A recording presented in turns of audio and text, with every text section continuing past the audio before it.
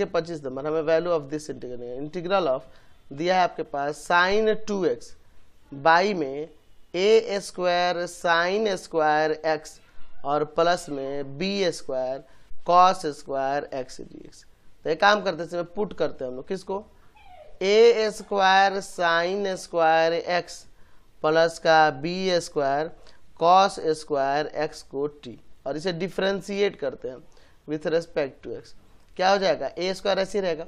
इस sine square x का two sine x और फिर साइन एक्स का cos x plus b square यहाँ हो जाएगा टू कॉस एक्स और कॉस का माइनस का साइन एक्स इक्वल टू में डी टी और वाई में डी एक्स तो यहाँ देखिए क्या हो जाएगा? A square sine two x का ये फॉर्मूला बन जाएगा two sine x cos x और ये माइनस प्लस माइनस हो जाएगा। B square two sine x cos x यहाँ भी ये साइन टू एक्स का फॉर्मूला बन जाएगा। इक्वल टू में डी टी और वाई में डी एक्स।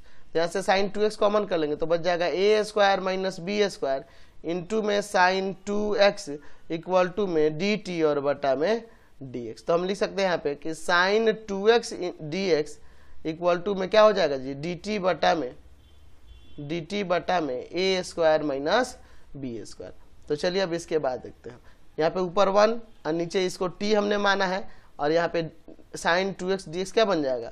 डी टी बटा में ए स्क्वायर माइनस का बी स्क्वायर। तो इसको आप बाहर निकाल लीजिए कॉन्सेंट है तो one by a square minus b square integral of one by t d t. तो वन बाई टी का क्या हो जाएगा? लॉग टी ना।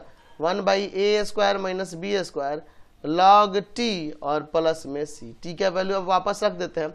One by a square minus b square log of a square sine square x plus का, b square, cos square, x plus का, ये आपका आंसर हो गया। Question number